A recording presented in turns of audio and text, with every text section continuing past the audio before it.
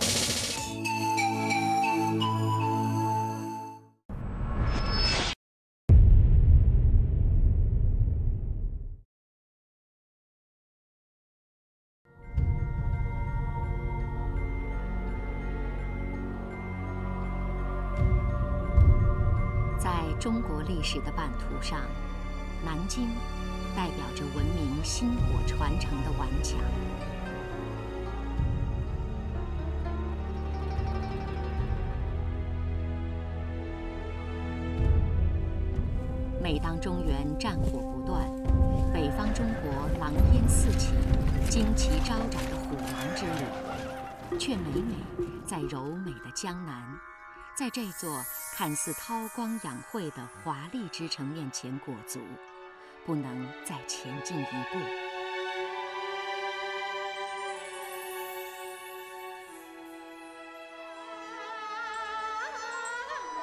南京可以水袖飘摇，也可以甲胄鲜明。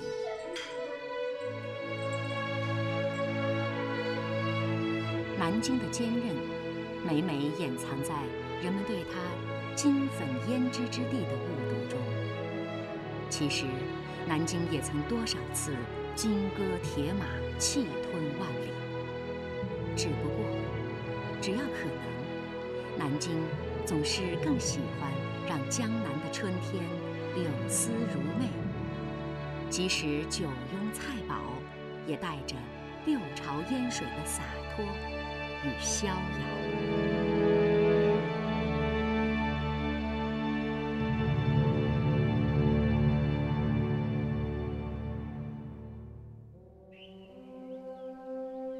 春秋战国的时候，南京叫金陵。《金陵图经》上解释说：“西楚威王见此有王气，埋金以镇，故曰金陵。”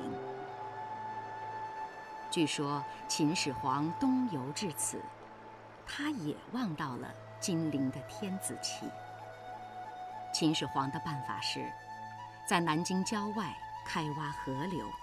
即秦淮河，以泄散王气，从而保护他的帝国免遭南方的叛乱，并将金陵改名为秣陵。墨，就是草料，由金而草，地名褒贬之间，秦始皇觉得可以放心了。也许真的如此，在三国东吴以前。南京地区一直只有几座分散的小县城。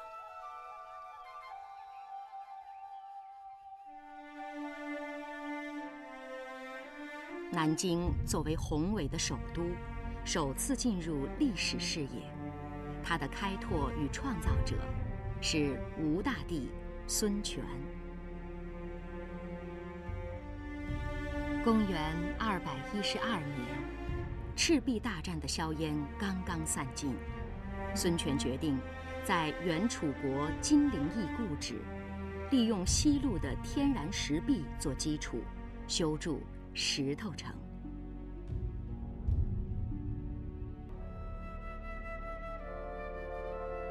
清凉山上，这块突出的椭圆形石壁，因为常年风化，远看酷似一幅狰狞的鬼脸。石头城，后人因此称之为“鬼脸城”。我们所谓的六朝古都呢，这是一个非常有趣的历史。嗯，最早，比如我们都知道，在讲《三国演义》的时候，像孙权，他其实不在南京了，呃，在镇江这一带啊。然后，像诸葛亮来、刘备来，那看来看去，诸葛亮又非常懂得风水，看来看去觉得那虎踞龙盘那个地方了不得，一定全孙孙权搬。孙权看了以后也觉得不错，所以东吴就搬到那儿去了。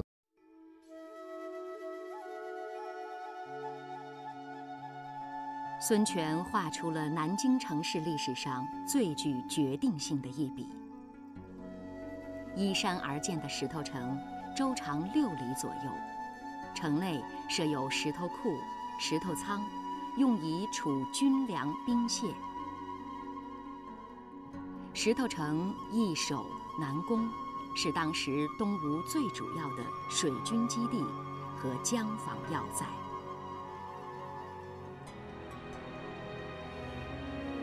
带着建立霸业的梦想，孙权用他的铁骑激起了石头城下的无穷波涛。南京从此由秣陵正式改名为建业。公元二百二十九年，孙权称帝，国号吴。这是中国历史上在南京建都的第一个王朝。所以孙权定都南京，实际上把南京的这个历史地位给确定下来了。把南京作为一个南方汉人的都城的地位确定下来了。那么，经过孙权一代的经营，孙吴一代的经营，以后，这北方地区一旦出现问题，退守南方的汉人政权首选的地方就是南京。孙权走入金陵的这一步，成为影响中国历史政治。经济格局的重要标志。为促进江南地区的农业生产，保障都城的供给，孙权实行屯田制，在南京周围开凿了多道运河，建立了四通八达的水上运输线，这也促进了商业的繁荣，并给沿河农田带来了灌溉、排涝的便利。为了维持这个首都的发展同繁荣啊，他就开了水水道、人工运河。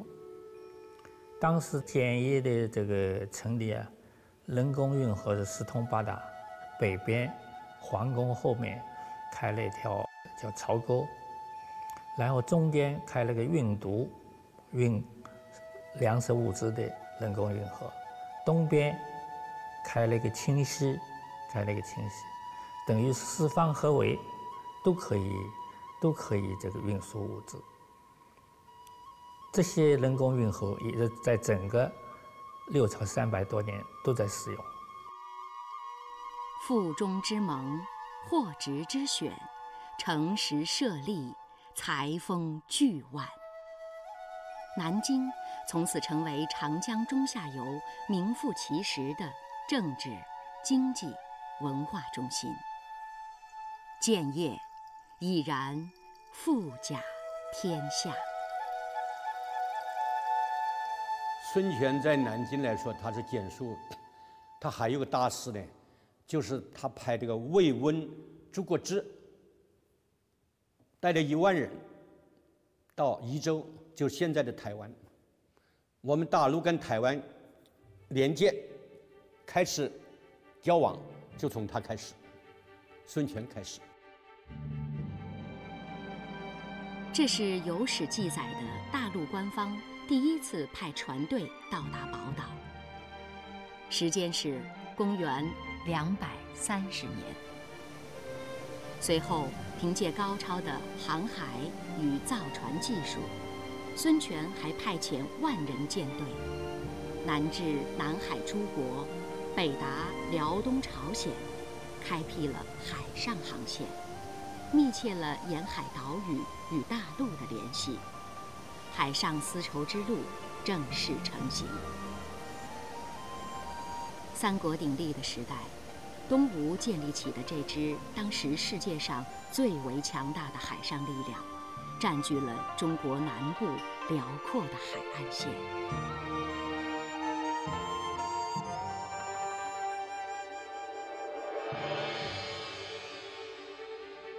史书记载，孙权紫然碧眼，气度恢宏。他的性格中，既有包容大度，更有奋发图强。作为南京这座都城的最早创立者，这样的性格几乎从一开始就融入了这座城市。从容镇静之中的南京，从东吴在乱世纷争、群雄逐鹿的铁血征战中，赢得了这份自信与大气。公元二百五十二年，孙权病逝，被追尊为吴大帝，下葬于中山南路的高岗上，就是这座梅花山。梅花丛中，东吴大帝悄然沉睡。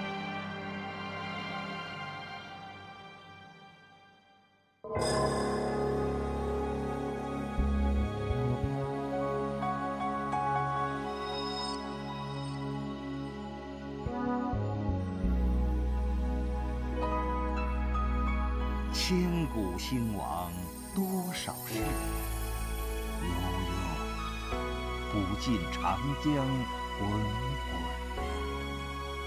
天下英雄谁敌手？曹刘，生子当如孙仲谋。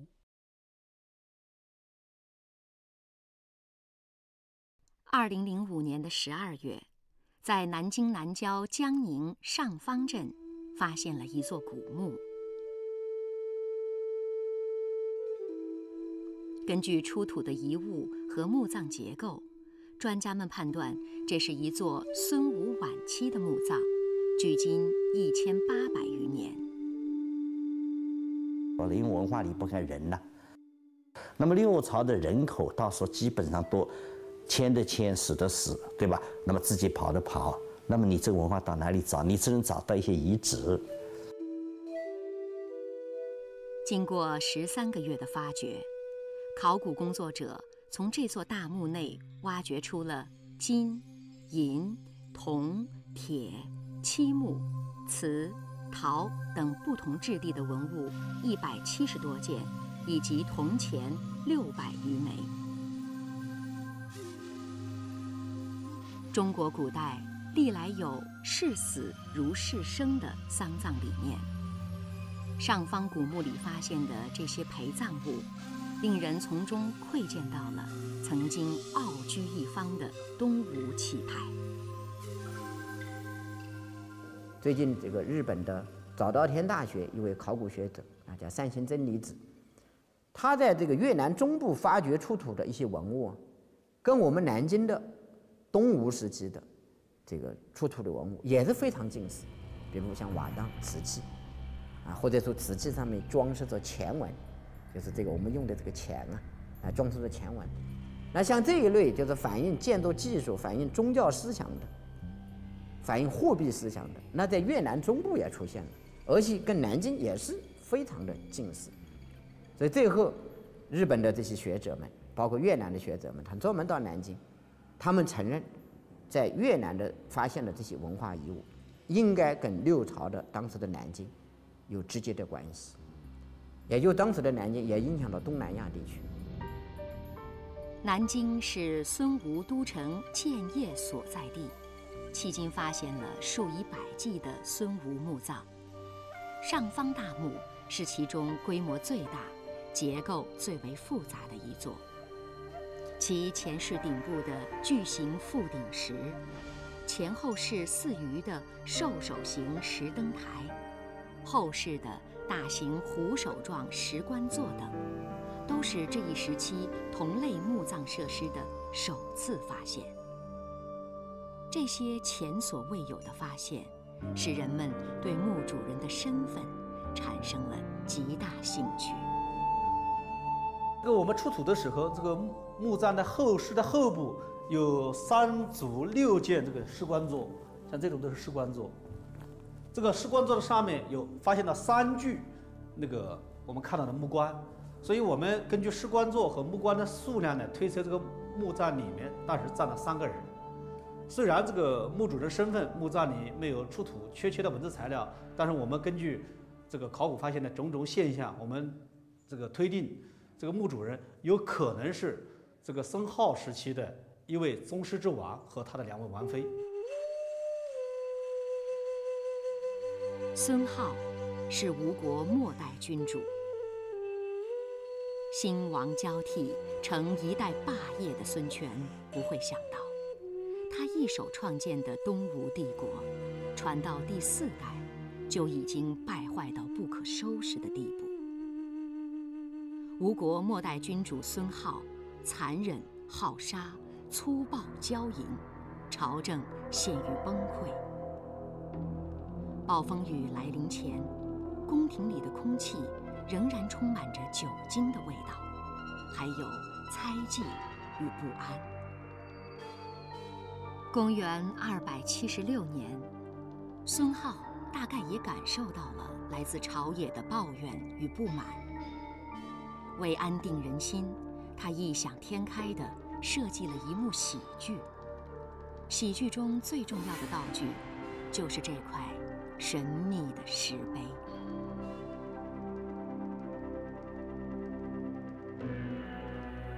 兵变、民变，是吧？老百姓水深火热，但是呢，他为了巩固自己的皇权呢，自己呢很虚假的呢，就搞了一个发明，就怎么呢？事先把材料议好以后啊，刻好以后呢，就叫人呢半夜的埋到地下去，到一定的时候呢，就就就大张旗鼓的又把那个碑把它挖上来，挖出来。这块碑现在我们叫天发神灿碑，这个碑呢，这个充满迷信，充满了愚民政策，呃，愚民的这个，就是好像是，嗯，世界上只有我孙浩能做皇帝，别的人不行，嗯，上天呢发下了神参了，啊就是叫我，所以我的房钱应该稳固的。后来呢，就把这个碑呢，这个碑呢就竖在那个。南郊的这个断石岗，一块荒诞不经的石碑，当然无法阻挡昏聩朝局的崩溃。仅仅四年之后，孙浩在城头就看见了西晋水军将领王浚率领的楼船铁甲，一片降帆出石头。孙浩自己反绑双手，束手投降。碑文里宣扬的所谓“帝曰大吴，一统万方”，豪言壮语，转眼就成了一个笑话。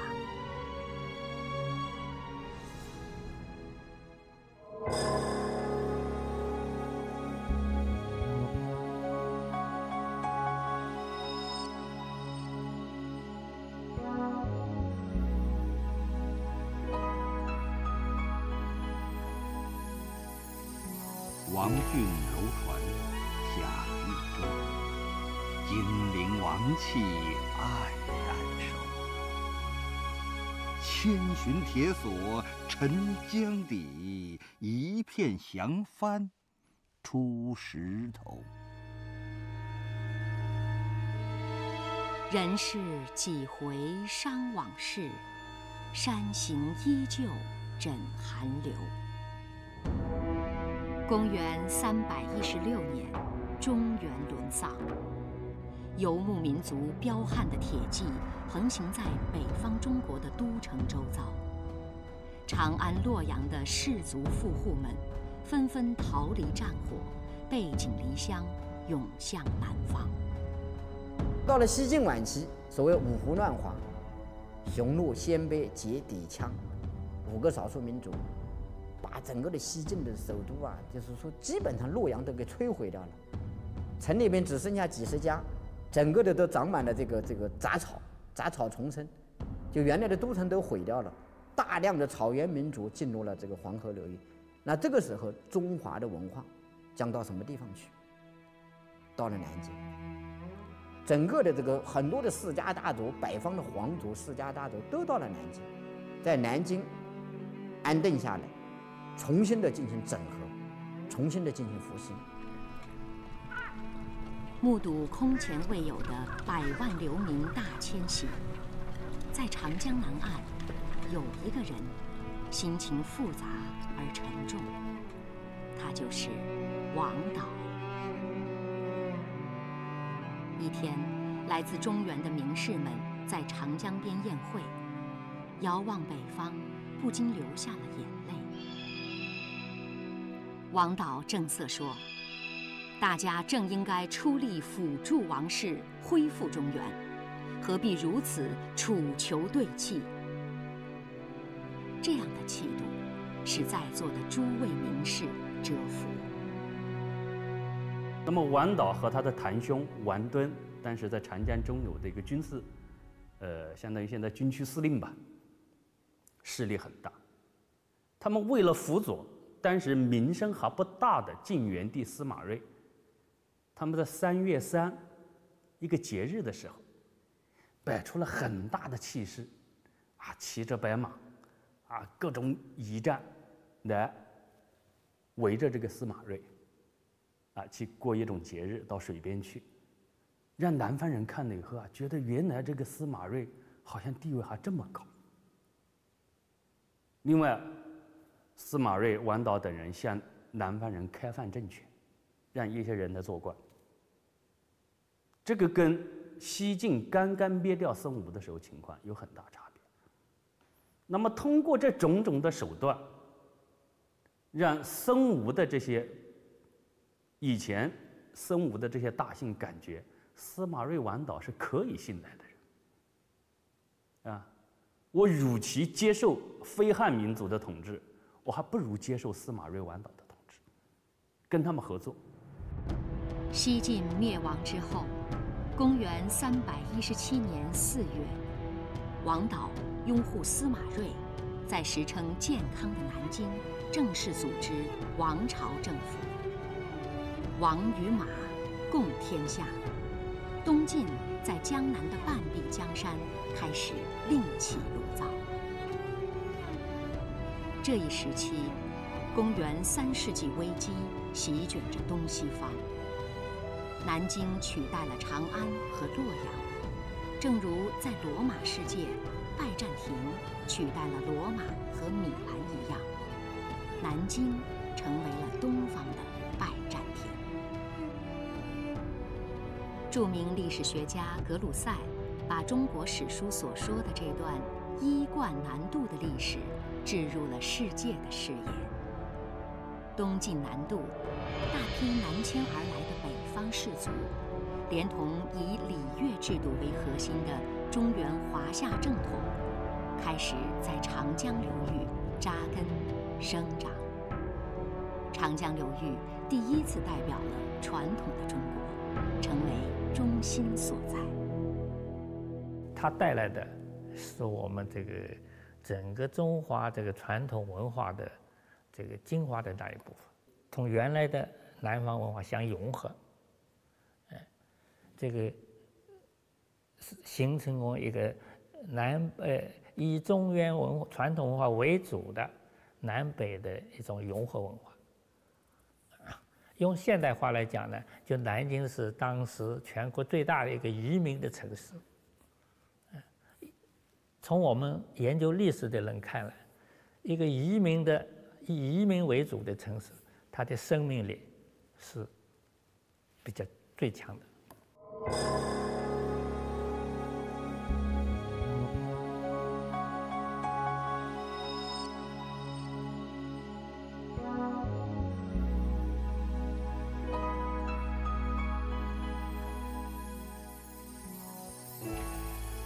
鹊桥边，野草花；乌衣巷口，夕阳斜。旧时王谢堂前燕，飞入寻常百姓家。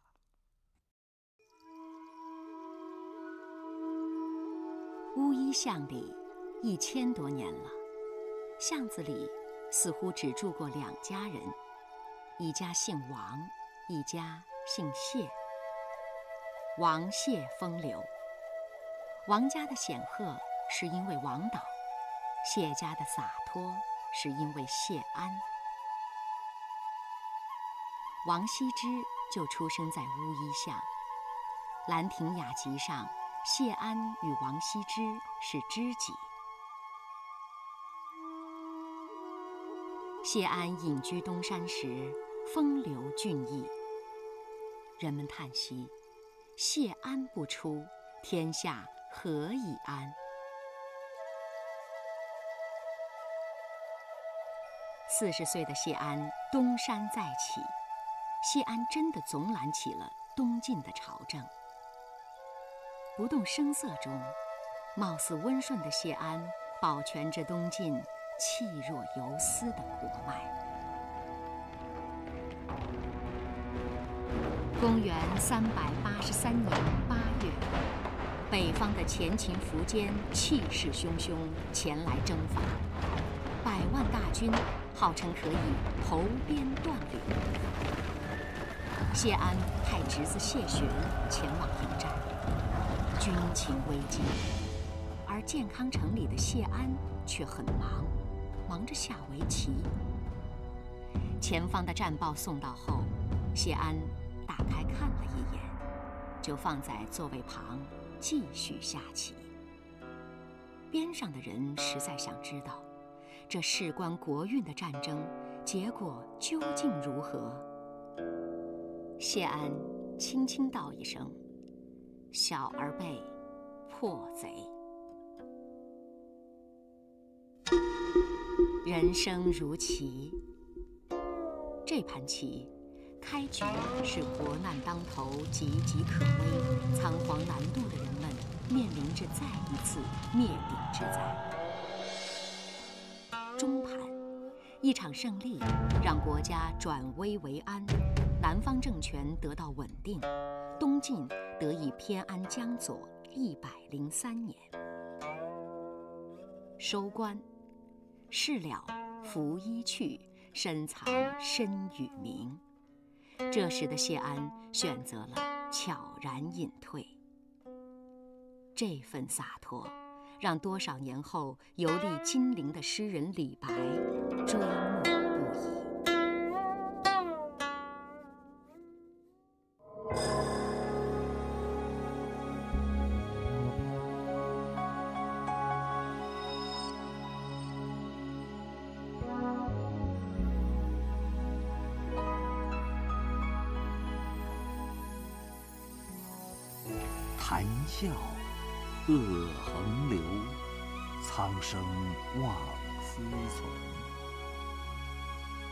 城访古迹，犹有谢安墩。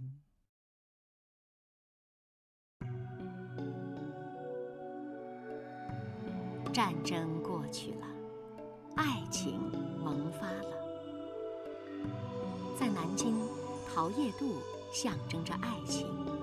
一千多年前的爱情，那时的秦淮河水面很开阔，风浪里百渡不慎，常会翻船。王羲之的儿子王献之常常在桃叶渡迎接他的爱人，一个叫桃叶的女子。桃叶复桃叶。渡江不用急，但渡无所苦，我自来迎接。水波激荡，也是心境波荡。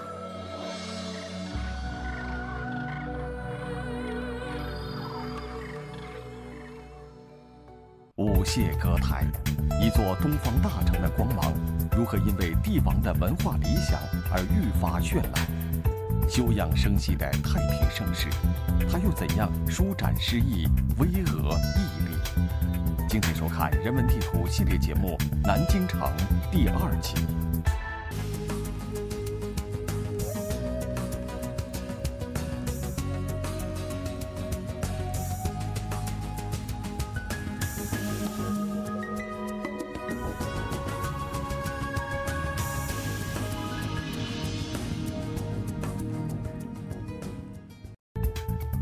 一座水袖飘扬的城郭，为何烙上甲胄鲜明的记忆？兴旺交替，气吞万里，东方的拜占庭如何雄立于扬子江头？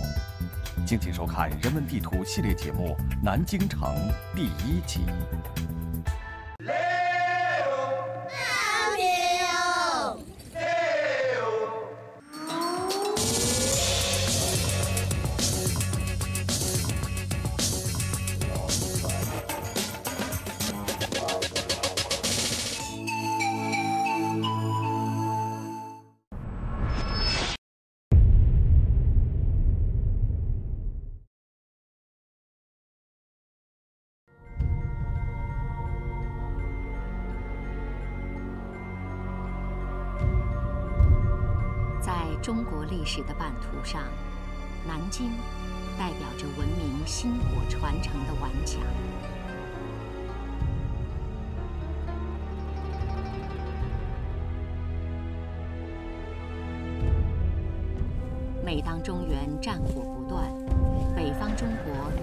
四起、旌旗招展的虎狼之旅，却每每在柔美的江南，在这座看似韬光养晦的华丽之城面前裹足，不能再前进一步。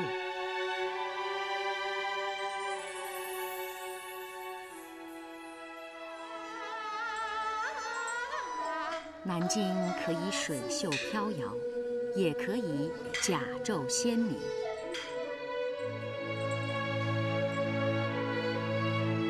南京的坚韧，每每掩藏在人们对它金粉胭脂之地的误读中。其实，南京也曾多少次金戈铁马，气吞万里。只不过，只要可能，南京总是更喜欢让江南的春天柳丝如媚。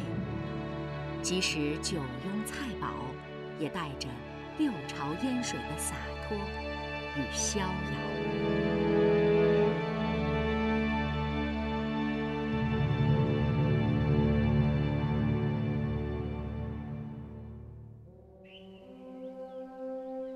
春秋战国的时候，南京叫金陵。《金陵图经》上解释说，被追尊为吴大帝，下葬于中山南路的高岗上，就是这座梅花山。梅花丛中，东吴大地悄然沉睡。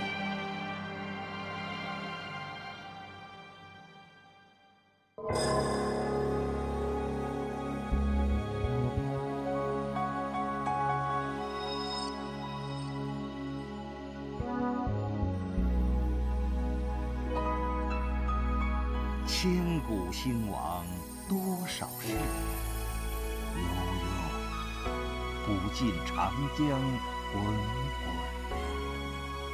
天下英雄谁敌手？曹刘，生子当如孙仲谋。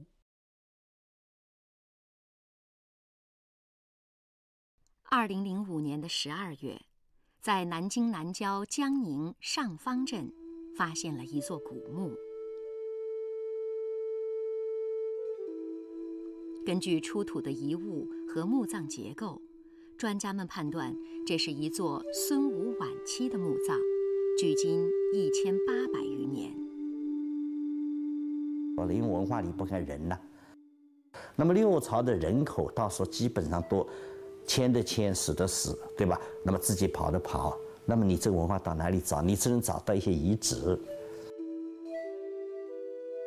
经过十三个月的发掘，考古工作者从这座大墓内挖掘出了金、银、铜、铁、漆木、瓷、陶等不同质地的文物一百七十多件，以及铜钱六百余枚。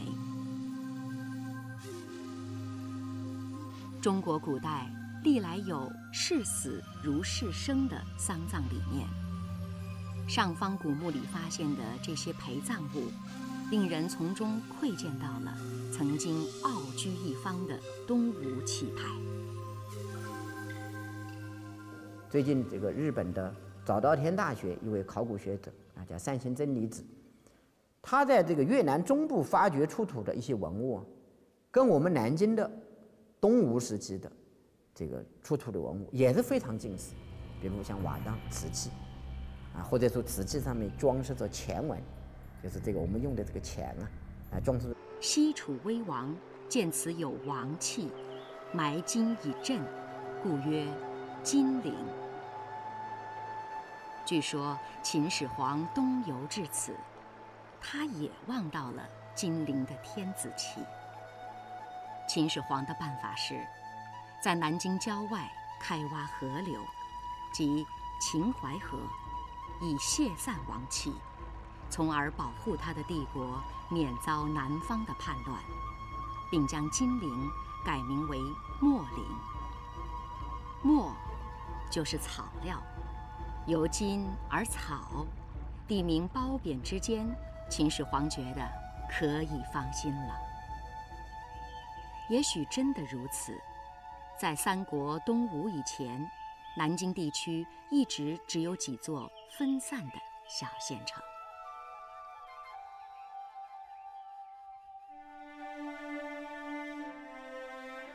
南京作为宏伟的首都。首次进入历史视野，它的开拓与创造者是吴大帝孙权。公元二百一十二年，赤壁大战的硝烟刚刚散尽，孙权决定在原楚国金陵邑故址，利用西路的天然石壁做基础，修筑石头城。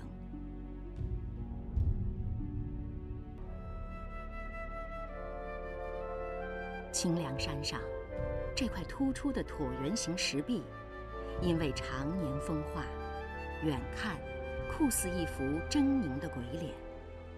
石头城，后人因此称之为“鬼脸城”。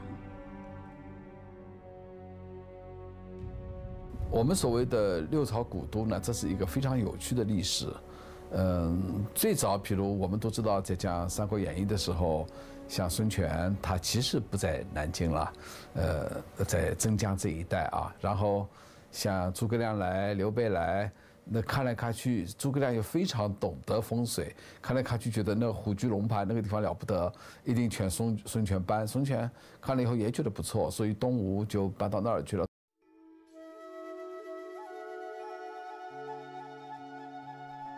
孙权画出了南京城市历史上最具决定性的一笔。依山，这些人工运河也是在整个六朝三百多年都在使用。腹中之盟，货殖之选，城石设立，财丰巨万。南京从此成为长江中下游名副其实的政治、经济。文化中心，建业已然富甲天下。孙权在南京来说，他是建树，他还有个大事呢，就是他派这个魏温诸葛之带着一万人到宜州，就现在的台湾，我们大陆跟台湾连接，开始交往。就从他开始，孙权开始。这是有史记载的大陆官方第一次派船队到达宝岛。时间是公元两百三十年。随后，凭借高超的航海与造船技术，孙权还派遣万人舰队，南至南海诸国。北达辽东朝鲜，开辟了海上航线，密切了沿海岛屿与大陆的联系，海上丝绸之路正式成型。三国鼎立的时代，东吴建立起的这支当时世界上最为强大的海上力量，占据了中国南部辽阔的海岸线。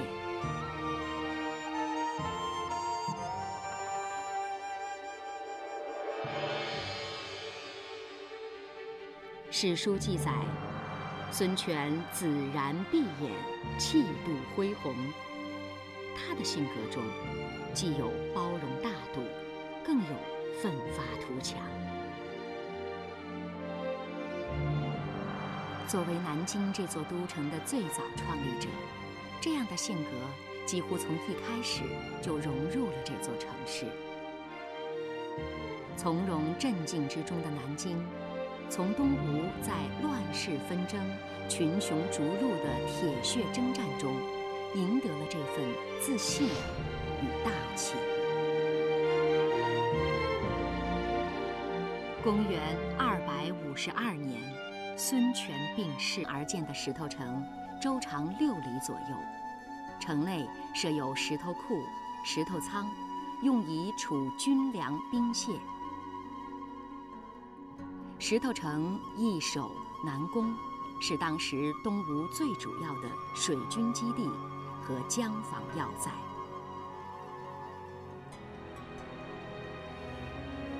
带着建立霸业的梦想，孙权用他的铁骑激起了石头城下的无穷波涛。南京从此由秣陵正式改名为建业。公元二百二十九年，孙权称帝，国号吴。这是中国历史上在南京建都的第一个王朝。所以，孙权定都南京，实际上把南京的这个历史地位给确定下来，把南京作为一个南方汉人的都城的地位确定下来。